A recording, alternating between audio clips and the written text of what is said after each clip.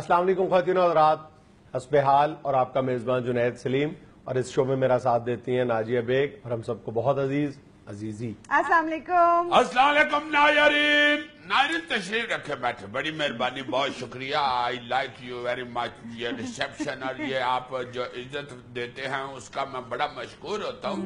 आप तशरीफ़ रखा करें बैठ जाओ बेटे सारे बैठ जाओ शाबाश। हाँ, ये आ गया है ठीक है मगर बैठ जाओ आराम से। लो जी शेर अर्ज़ किया है। तुमने देखा है कभी चाँद से गिरता पानी? मैंने देखा है ये मंजर अपना मुँह धोते हुए। वाह वाह वाह ये शेर जिस दिन मैंने कहा था उस दिन तो भले में शोर गोगा पड़ गया कि यार शुक्र है ये ये बेचारा तकल्लफात में से बाहर निकला है। सॉरी असल में शेर में कुछ और सुनाना चाहता था तो अच्छा। मैं अपनी तरफ़ मुड़ गया। शेर अर्ज़ किया है सारा दिन मैं रज के सोया हूँ। नींद क्यों रात भर नहीं आती? पहले मिसरे में दूसरे का जवाब है अल्लाह तेरी खैर करे यही मैं कहना चाह रहा हूँ। असल में मैं आज फिर से सोच रहा था एक तो लोड शेडिंग के हवाले से हमने गुफ्तगु की थी कि हम क्यों नहीं सुबह जल्दी उठते और क्यों नहीं कामों पे जाते और क्यों नहीं अंधेरे से पहले पहले अपनी दुकानें मार्केटें कारखाने बंद करके घरों को आते ताकि जो अल्लाह ताला ने कुदरती लाइट हमें दी है हम उसे अवेल कर सके और लोड शेडिंग कम हो बिजली हम बचा सकें। मगर आज मैं किसी और हवाले से सोच रहा था कि क्या ये हमने मॉडर्निज्म समझ लिया हुआ है? रात तक लेट जागना और सवेरे बारह एक बजे तक सोए रहना। अगर ये हम मॉडर्निज्म समझते हैं तो मैं माफ़ी चाहता हूँ ये तो मॉडर्निज्म नहीं है। मॉडर्निज्म तो हम अमेरिका या इंग्लैंड या गोरों से ही अडॉप्ट कर रहे हैं होते हैं ना? कई सालों से उन्हीं के पीछे लगे हुए हैं। और गोरे जो हैं जो तरक्की याफ्ता लोग हैं और वहाँ के जो उमरा हैं बड़े बड़े वो तो सारे सवेरे सवेरे उठ के मुँह नेरे कमों काजों को चले जाते हैं। और अंधेरा होने से पहले अपने घर वापस आ जाते हैं। ये तो उधर के नशई और बेचारे जो बेले लोग हैं ना जिनको हम हैप्पी कहा करते थे किसी जमाने में हाँ, हाँ। वो सड़कों थड़ों और नुकरों में पड़े हुए नज़र आते हैं। बारह एक बजे तक नशा करके सोए रहते हैं। मेरे ख्याल में मैं माफ़ी के साथ अर्ज़ करता हूँ कि ये जो बारह एक दो बजे तक सोए रहने का तरीका कार है मैं इसे नहुसत समझता हूँ। मैं कह रहा था कि आज ज़रूर बात करूँगा कि ये अल्लाह ताला के हाँ को अच्छा अमल नहीं मेरा ख्याल है पाया जाता। इस तरह नहीं करना चाहिए। जल्दी उठ के अपने काम काज कामकाज पे पहुँचना चाहिए। और उससे मेरा ख्याल है सिर्फ़ एनर्जी ही नहीं सेव होगी तवानाई ही नहीं सेव होगी। हमारी अपनी सेहत और हमारे अपने औकात और हमारी अपनी ज़िंदगी भी जो है वो भी बड़ी खुशहाल हो बहुत खूबसूरत बात की आपने बहुत शुक्रिया मारो इधर इधर तो मैं खुशहाली और अच्छी बात ही कर रहा होता हूँ ये ब्रिज क्रॉस करता हूँ तो मुझे पता नहीं क्या हो जाता है। पता नहीं नलायक लोगों में आके बंदा खुद भी नलायक हो जाता है। वैसे एक एनर्जी क्राइसिस का बहुत बड़ा हल ये भी है कि चाँद साहब आप रात के वक्त मगरिब के बाद गलियों में निकल आया करे। हाय हाय हाय हाय ताकि लाइट हो हाँ जाए नहीं तो मगर फिर चाँद बीमार हो जाएगा। अपनी अपनी लाइट का बंदोबस्त करो ना चाँद का ले कोई ना पा दो। मुझे अभी तक वो तुम्हारा मिसरा हजम नहीं हो रहा। अमान चलो इधर हजम कर लो याद कर लो वैसे किसी और महफिल में अपना क्या किसी ना मेरा कौन सा अपना था? मैंने भी कहीं से पकड़ के अपना क्या किसी ना मैं तो ना भी अपना कहूँ तो लोग यही समझेंगे कि मेरा है। हाँ नहीं ये नहीं सही कहता है सही कहता है। ये बाल इसने पुट पुट के खड़े किए। पागल हो गया हुआ ये तो अल्लाह ताला का शुक्र है जब वो आशान एक्शन करता है तो ठीक है। पहले तो उधर खड़ा हुआ, ऐसे कर रहा था।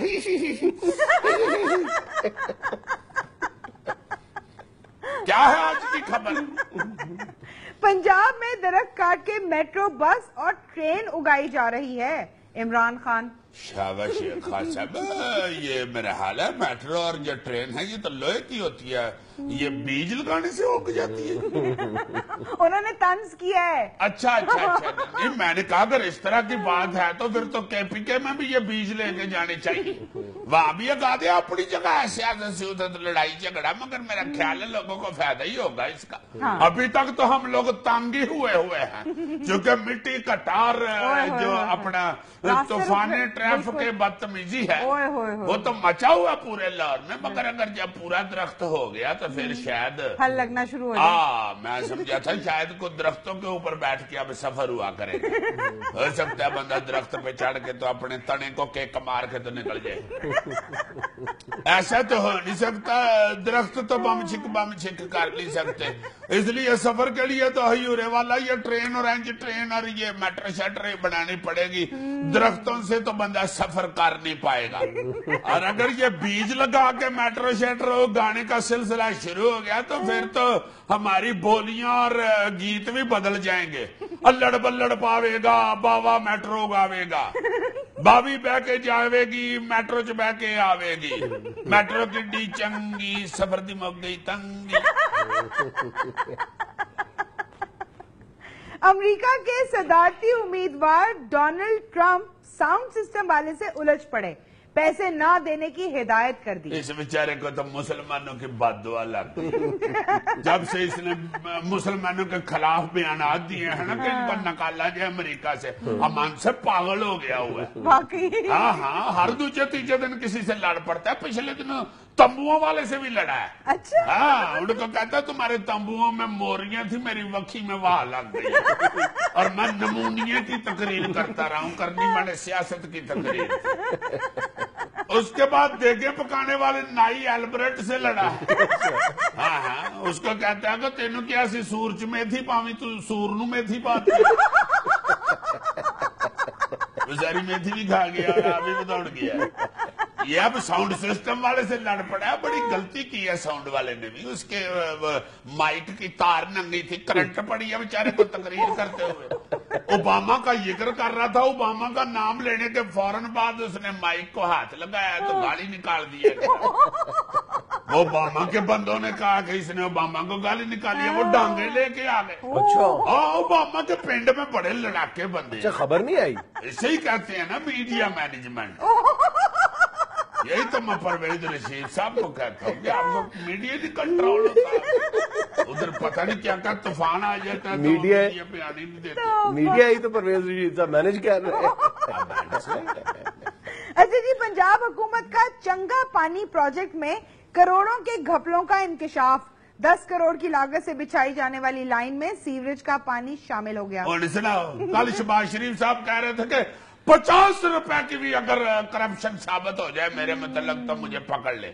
मगर शबाज शरीफ साहब हयूर ठीक है आपने नहीं करप्शन की मगर जो सजे खबे हो रही है उसको तो हयूर पकड़े ना। Exactly exactly. ये चले अभी तो खबर आई है अगर ये वाकई बात दुरुस्त है तो आपको खुदा का वास्ता इनको एक ऐसी सजा दे? छोड़े कि आइंदा ऐसे तो ना हो। पीने का पानी लोगों के घरों में जाता है उसमें करप्शन करके पैप माड़े पाके बेड़े गर्क करके गटरों के पानी पीने वाले पानी के पाइपों में घुसे हुए हैं और लोग गलीज और प्लीत पानी घरों तक पहुँच रहे और पी रहे हैं। खुदा के वास्ते इसका मतलब बड़ा सख्त नोटिस ले। किसी ने हमें अच्छे क्वालिटी वाले पाइप की जगह पैड़ा पाइप डाल दिया होगा।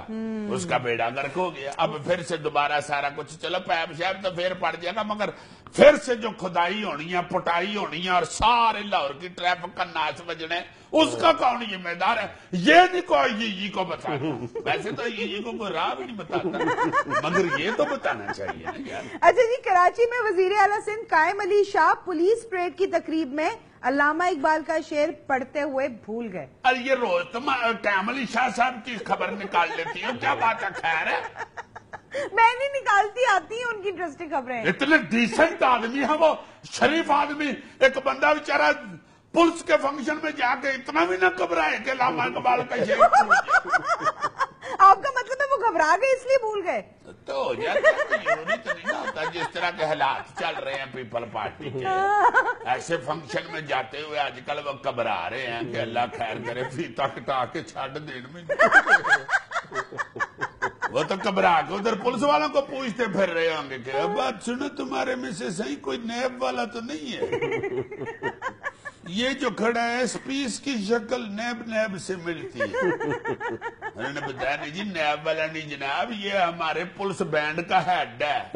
अच्छा अच्छा वही ना डांग सोटा करने वाला ही ये हमें लेना एक छोटा सा वक्फा हमारे साथ रहिएगा।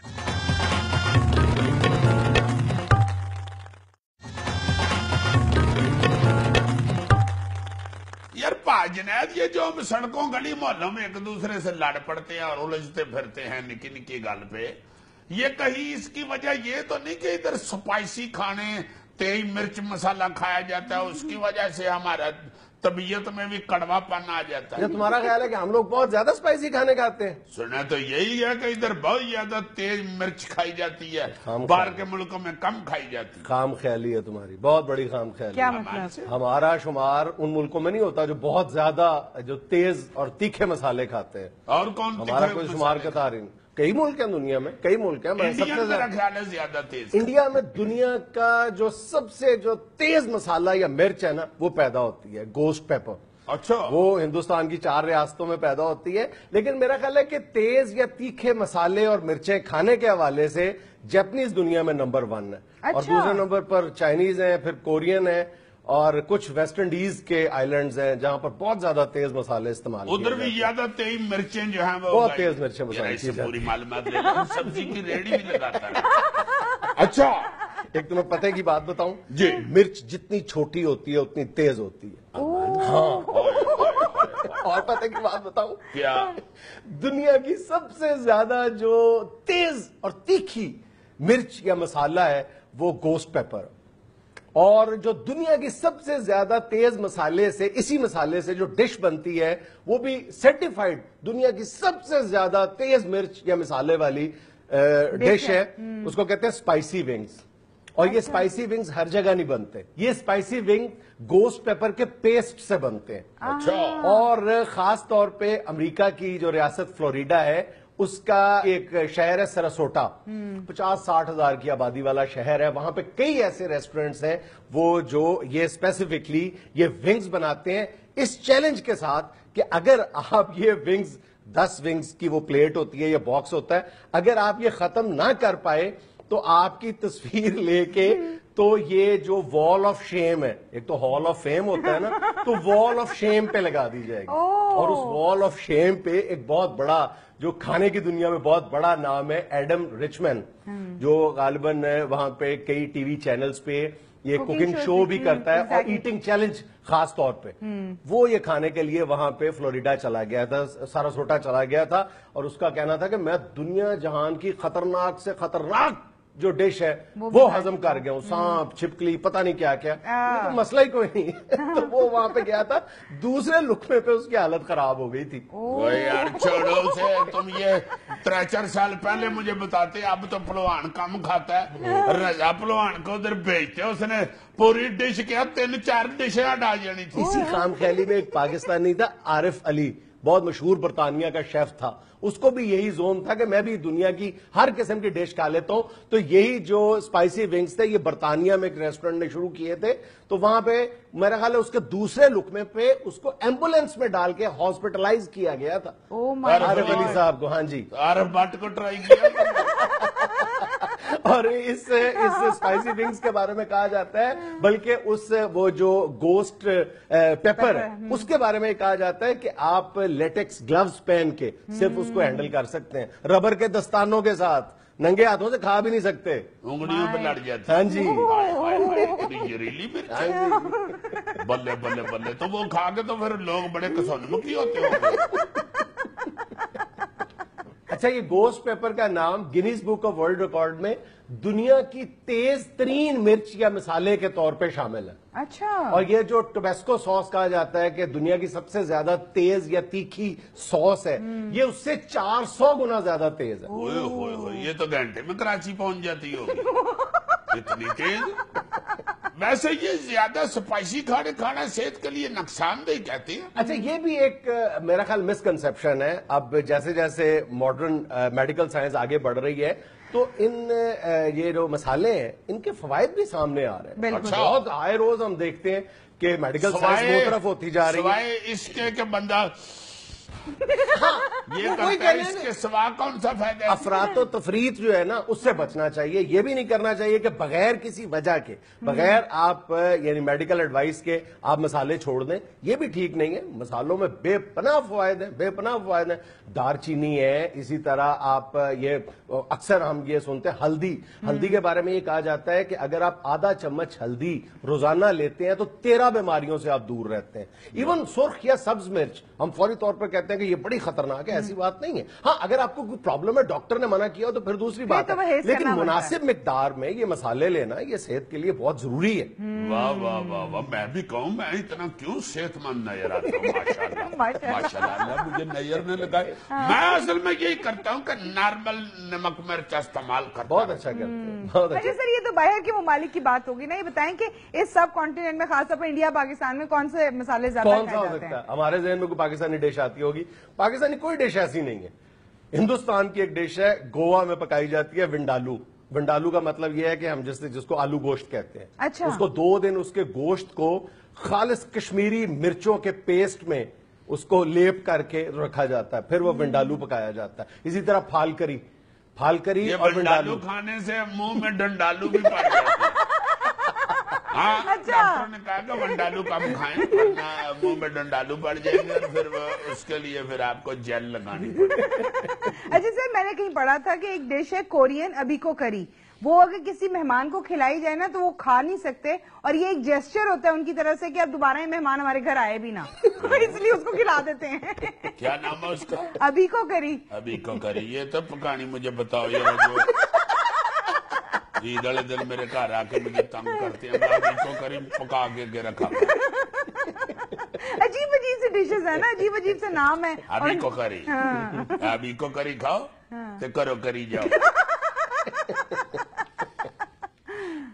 लेना एक छोटा सा वक्फा हमारे साथ रहिएगा।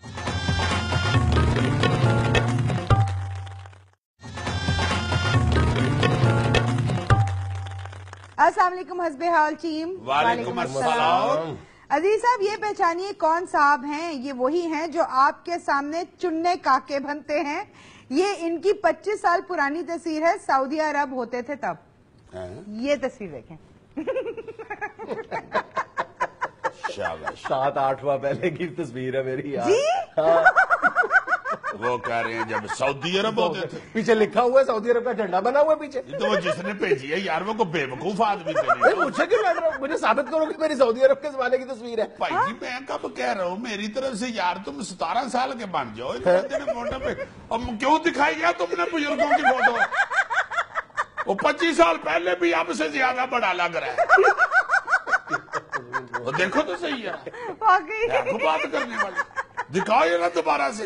हेलो अब कौन सा पच्चीस साल यार देखो अच्छा ईमान ज़्यादा से ज़्यादा दो या तीन साल पहले लगता है की कि तिन्ना कन्ना वाला बंदा है, अगर नाक बीच में ला सर पाँच छह साल तो आपको हसबे हाल में हो गए कौन से दो तीन साल पहले की? नहीं ये तो वाकई काफ़ी पुरानी लग रही है। मगर मोटे तुम उस वक्त भी थे।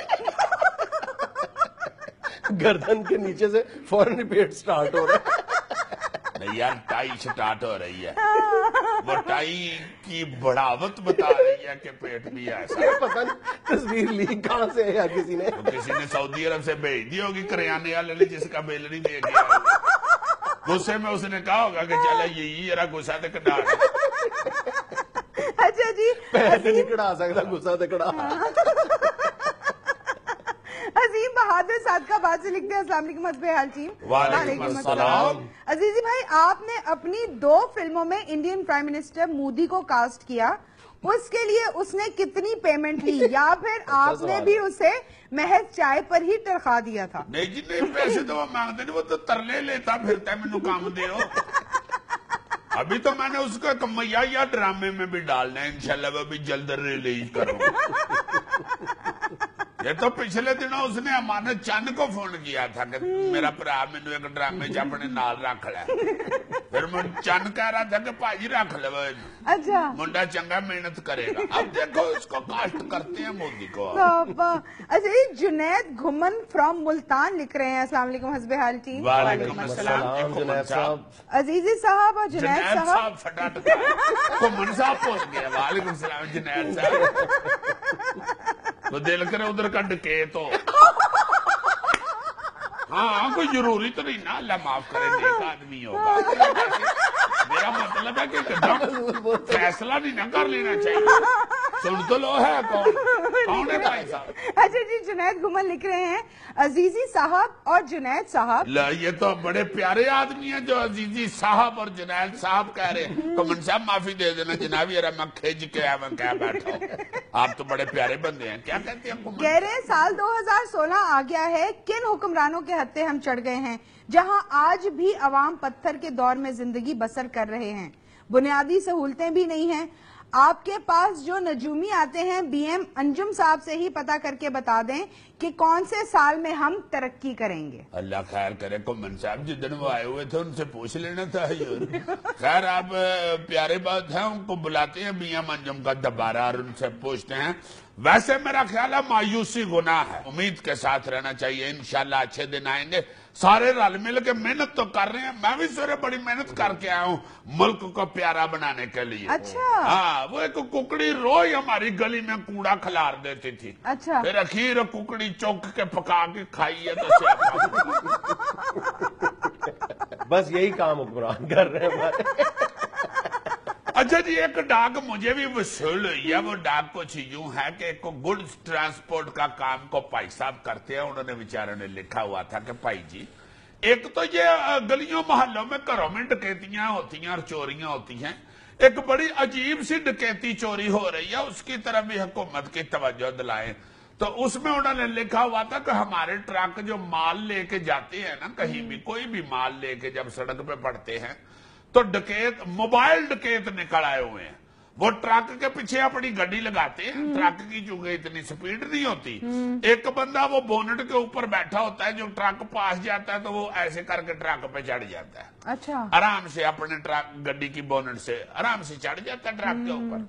उत्ते जाके वो माल जो बीच में होता है उसमें से कोई गठे या को, कोई चीज़ जो चोरी होने वाली होती है वो निकाल के तो पीछे फेंक देते हैं। पिछली गड्डी वाले साथ ट्रक जो अपना लेके मैदान चल रहे होते हैं उसमें फेंक लेते हैं। इस तरह रास्ते में चलते ट्रक में से ही डकैतियाँ हो रही हैं। इसकी तरफ़ भी तवज्जो दिलाई जाए अहालियाने लॉ एंड ऑर्डर को। ले जी मैंने तो बता दिया वैसे इसका आसान तरीका यही है वो जो पुराना चलता आ रहा है ट्रक पीछे बांदरी बने करो डाकू ऊपर चढ़े तो उसको खरूंडे मार के थड्डे फेंक दे या फिर माल की जगह कुत्ते भर ले ट्रक ਵੱਡੇ ਵੱਡੇ ਬੋਲੀ ਕੋਤੇ ਡਾਕੂ बीच में छाल मारे डाकू सारा उधड़ जाए उधर अच्छा जी हैदराबाद से एहतशाम चिश्ती लिखते हैं अस्सलाम वालेकुम हस्बे हाल टीम वालेकुम अस्सलाम चिश्ती साहेब अजीजी साहब आपने दो दिन पहले जो संस्कृत के अल्फाज बोले थे बम्बल तोश और बम्बल टेंटी तूश। डाउन बम्बल तूश हाँ बम्बल तूश और टेंटी टेंटी डाउन डाउन। टेंटी डाउन मैंने तो सारी रात 500 साल पुरानी संस्कृत की किताब पढ़ी है ना तो ये लफ्ज मिले और ना ही इनका मतलब। जिस किताब इतनी जल्दी तो अनुपम। नहीं ना हासिल होता। मैंने तुम्हें कहा भी था संस्कृत पे ये मुद्दा ना डालो। किसी ऐसी ज़ुबान को ले लो जो जिसकी डिक्शनरी ना मिलती हो। और यार ये संस्कृत है इतनी जल्दी नहीं इलम हासिल होता। मेहनत करे हयोर आहिस्ता आहिस्ता ये संस्कृत की एक जैली जबान है पिक्टरों में। ये पिक्टरों में का लफ्ज है बबलतोश पिक्टरों में जो है इसका मास्टर्स किया हो। ना अगर डबल तो फिर संस्कृत का सिंगल मास्टर होता है। नाजरीन यहाँ में लेना एक छोटा सा वक्फा हमारे साथ रहिएगा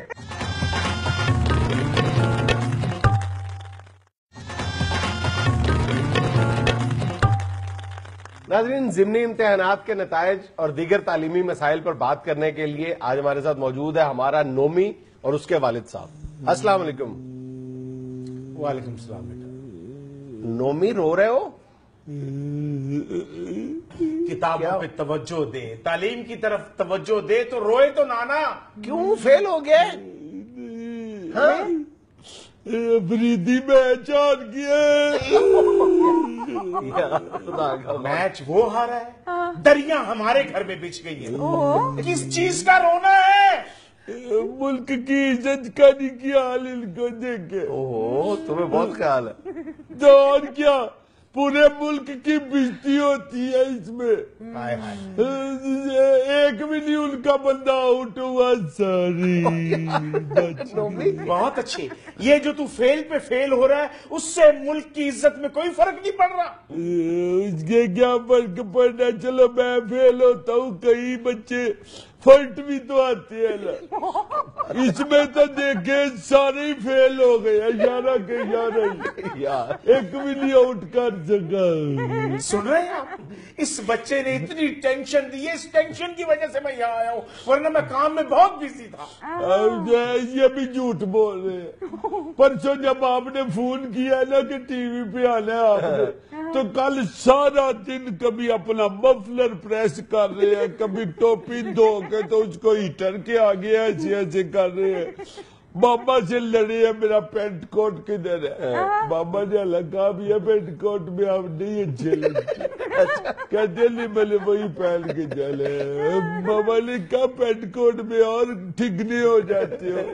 ठिकनी कहा था गिट्ठे कहते नहीं मैं नहीं सलवार कमीज में पेंट कोट पहनूँगा। मेरी कौन सी टेंशन है? आपको आपको तो परसों से आपने कपड़ों की और टीवी पे आने की टेंशन लगी हुई थी। इन्होंने तो परसों फ़ोन किया है ना। मैं तो पूरे पिछले एक हफ़्ते से खून जला रहा हूँ। क्यों? फेल हो गया फेल नहीं होते। जब भी शरीफ लड़कों में बच्चों में जो पोजीशन होल्डर है ना उनमें जब भी इनामा तकसीम करते हैं मेरे घर में स्यापा पड़ जाए क्यों? पचास दफ़ा समझाया जेलस नहीं होते। फ़र्स्ट उस पे खुश होते।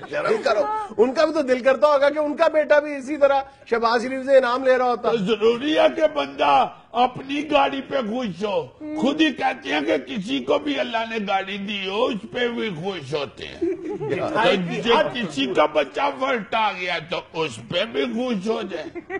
ज़रूरी है कि आपका बच्चा ही फ़र्स्ट आए खुद ही कहते हैं बच्चे तो सांझे होते हैं। और चलो फ़र्स्ट नहीं आना जब रिज़ल्ट आता है तो सारियों के बच्चे लैदा लैदा हो। जाए वैसे सारा साल बच्चे सांझे होते हैं।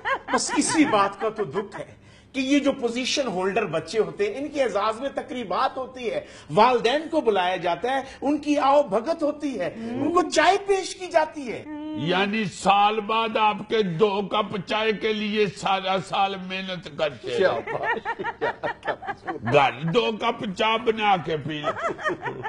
लोमी बात सिर्फ़ दो कप चाय की नहीं होती इज़्ज़त अफजाई की होती है। तो इज़्ज़त अपनी मेहनत से बढ़ाए ना सरकारी खजाने से चाय पी के ना ना इज़्ज़त तुम क्या चीज़ हो यार? पता सरकारी खजाने से लूट मार हो रही होती है। मैंने तुम पर चाय फेंक देनी है। बेटा, ना फेंकना। बदतमीज बच्चे हो यार। तुम्हारे वालिद साहब साथ आए हुए तुम यकीन माने जुनेद अंकल मैं सिर्फ़ इसलिए बस नहीं आता कि क्यों सरकारी खजाने से इनामात लिए बच्चा कच बहसी करता है। कुछ तो शर्म करो यार। इज़्ज़त भी कोई चीज़ है। मैंने पूरी तकरीब देखी है। उसमें एक यतीम बच्चे ने भी पोजीशन ली। वो भी मेरा कसूर है। वो यतीम है वो भी मेरा कसूर है। मैं नहीं यतीम वो भी मेरा कसूर है। अरे यार नोमी। क्या हो गया? खुदा का नाम लो यार। जो मुँह में आता बोल देते हो। नहीं तो इसमें मैं क्या कर सकता हूँ? मेरी मेहनत तो पढ़ाई तक हो सकती है। यतीम मैं कैसे वो हूँ? ये कह रहे हैं कि जिस बच्चे के पास वसाइल नहीं थे बाप की शफकत नहीं थी इसके बावजूद उसने पोजीशन ले लिया। है कुछ शर्म करो। हाँ। जी। आप उसके उसके अम्मी अबू भी नहीं थे। नहीं थे। तो उसकी तो अम्मी अबू की चाय भी बच गई और नोमी। सीरियसली नोमी वो फ़र्स्ट आ सकता है। उसके अम्मी अबू उसको काम नहीं ना कहते वो सारा टाइम पढ़ाई करता है। हमारे अबू तो जब बैठे नोमी मेरे काले बूट दे दे। नोमी मेरी गाड़ी की चाबी किधर है? नोमी मुझे अखबार और ऐनक दे दो। अखबार से याद आया वो खबर पढ़कर क्या कैफियत हुई थी मेरी कि एक ऐसे बच्चे ने पोजीशन ले ली कि जिसने तालीमी अखराज पूरे करने के लिए सर्द रातों में गर्म अंडे बेचे। क्या बात को उठाया है? वाह वाह तो ठीक है ना? सर्द रातों में गर्म अंडे बेच के अखराज पूरे किए। तो अच्छी बात है ना। हाँ तो गर्म अंडे सर्द रातों में ही बेचे तो अखराजात पूरे होते। गर्म अंडे अगर जून जुलाई च बेचे तो मल्ले वाले लम्मियाँ भी पा लेते। क्या वालदेन का ना अब तरीरा बन गया हुआ है। वतीरा बन हाँ, गया हुआ वतीरा बन गया हुआ है कि ये अपनी औलाद को बेइज्जत करने के लिए मन घड़त अफसाने गढ़ के सुनाते हैं। ओहो ऐसा क्यों सोचते हैं नोमी आप उनसे मन? मुझे मुझे ये परवेज के बड़े भाई ने भी कहा था। क्या? परवेज भी बेचारा फेल हो गया ना तो उसके वालिद ने उसको घर से निकाल दिया ना उसके बड़े भाई ने कहा था कोई बात नहीं आ जाओ तुम घर तो वो उसको समझा रहा था तो कहता था कि वालिद अब ऐसे ही करती है हम्म। अपने बच्चों को जलील करने के लिए ना और जलील नहीं कर रहे तुम्हें बता रहे हैं कि अल्लाह ताला ने तुम्हें हर तरह की नेमत दी हुई है हम्म। उन बच्चों ने पोजीशंस ले ली है जिनके पास कोई वसीला नहीं था तो ये बताते हुए मैं जलील ही हो रहा हाँ। तो जलील होना चाहिए तुम्हें। ऊँट जितना कद हो गया एक लफ्ज नहीं आता इसे। जुनेद बेटा मैं इसे एक हज़ार रुपए इनाम दूँगा बस ये इतना बता दे कि पाकिस्तानी कौमी तराना किसने लिखा है? हफीज जलंधरी ने दे हज़ार रुपये। तो ये तो हर जगह मुझसे यही पूछते हैं फिर मैंने आँख के याद कर दिया दो हज़ार रुपया। नाज़रीन, यहाँ में लेना छोटा सा वक्फा हमारे साथ रहिएगा